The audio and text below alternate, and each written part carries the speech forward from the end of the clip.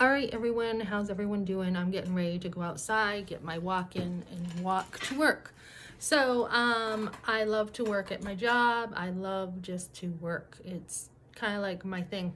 It's kind of weird. I've always liked to work. I think there's a sense of accomplishment. So when I was having my kids, my husband was like, I don't want you to work. I don't want you to work. And that was really difficult for me to stay home. The first job I had after I had my son was at this store called the Hometown Market in Penacook, New Hampshire. And I was like, oh, I miss my son. So I ended up staying home. And um, I just did like side jobs while I stayed home until I was ready to work more.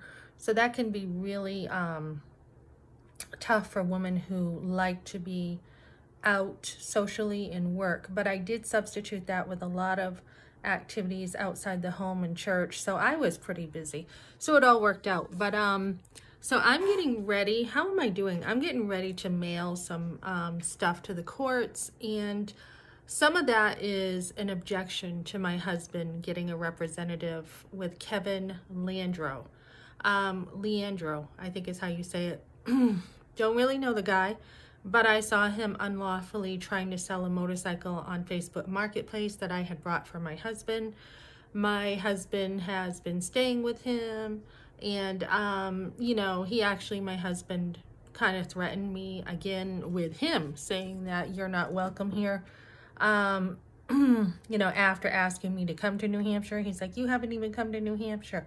And I'm like, I told you that I would come to New Hampshire as soon as you want. I'll come to New Hampshire right now. I'll drop my job if you want to work this out, you know, and get over there. And he's like, you better not come to New Hampshire. You're not welcome here.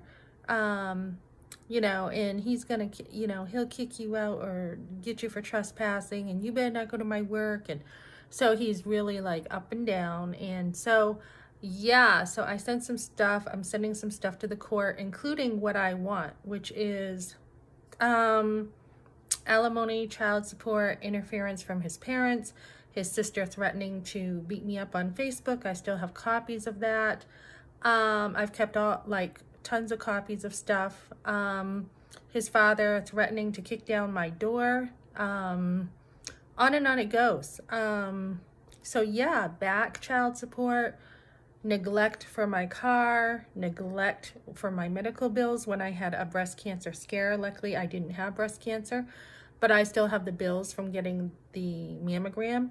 And so, um, yeah, just um, don't be afraid to speak up for yourself. You know, the domestic abuse is going in there. Um, the, the physical assault, the verbal abuse, you know, I'm going to kick your ass and all that stuff. That's all in there.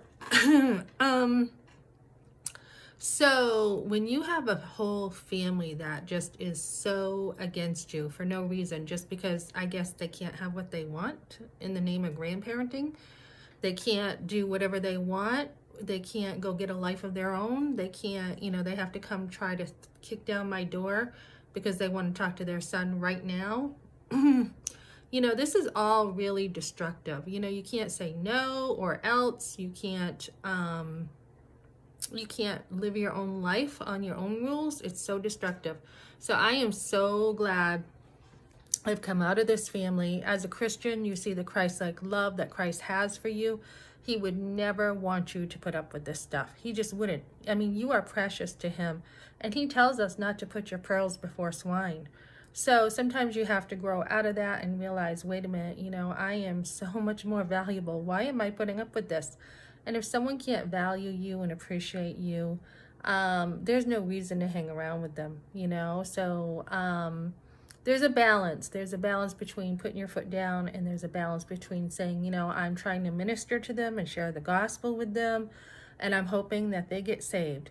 So there is that type of ministry mindset that you have toward difficult people that you truly hope that they get saved because you don't want to see them go to hell. But when they continue to make up things about you and, you know, tell the whole town of Epsom, where I'm from, stuff about you that's not true, you know, there's just got to be a line. There's got to be a line of, you know, some kind of accountability, some kind of, you know, I, you know, apology, some kind of, um, you know, safety net for your own emotional health So I'm actually happy that I, my husband and I are now divorcing. I mean, it is a sad thing. It's never meant to be. It's meant to be for life. One man, one woman for life. But when someone's treating you, you know, they push you, they can't they can't have that intimacy with you. They want to, you know, put you through the wringer. They want to just destroy you.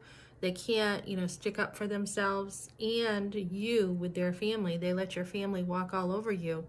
That's not the kind of marriage you want. So, um, Jesus talked about those who have the outside of the cup clean, but on the inside it's all dirty.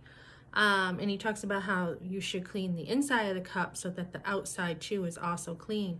And he also talks about those who um, are like all, they look all good on the outside, but on the inside they're full of dead man's bones.